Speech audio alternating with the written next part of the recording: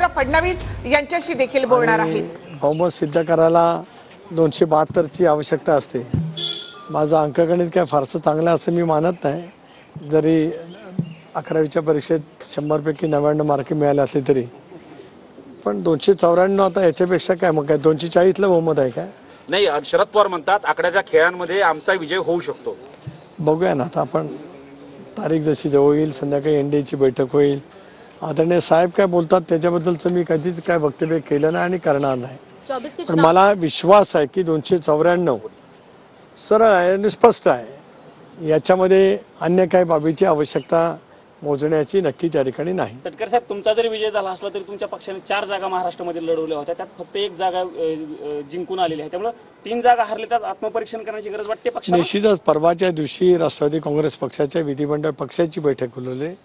पक्षाच्या प्रमुख नेत्यांची बैठक परवा दिवसभर त्या ठिकाणी होणार आहे.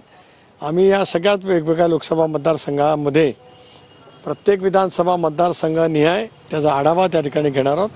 आत्मपरीक्षण करू आत्मचिंतन करू पुन्हा एकदा जोमाला कामाला लागू. तटकरे साहेब एनडीएचं सरकार स्थापन होत आहे तुमच्या पक्षात तुम्ही दोन खासदार आहेत. तुमच्या पक्षाला देखील मंत्रीपद मिळणार आहे. तुम्हाला संधी मिळाली तर तुम्ही घेणार का? नाही, एक असं आहे की या संदर्भातला कुठलाही निर्णय असेल तो राष्ट्रीय अध्यक्ष अजितदादा त्या ठिकाणी घेतील. धन्यवाद. आजच्या बैठकीला दादा येणार सर आहे हिंदी में जाना चाहेंगे भारतीय जनता पक्षाचे महाराष्ट्राचे सर्वात प्रमुख नेते त्या ठिकाणी आहेत. महाराष्ट्र प्रदेश भारतीय जनता पक्षाच्या अध्यक्षपदाची धुरा त्यांनी सन दोन हजार बारा तेरा सालापासून स्वीकारल्यापासून भारतीय जनता पक्षाने महाराष्ट्रामध्ये लक्षणीय यश मिळवलं. राज्याचे मुख्यमंत्री म्हणून सुद्धा त्यांनी अतिशय उत्तम पद्धतीने काम केलेलं आहे. शेवटी निवडणुकीच्या निकालाने ते व्यथित होणं मी समजू शकतो.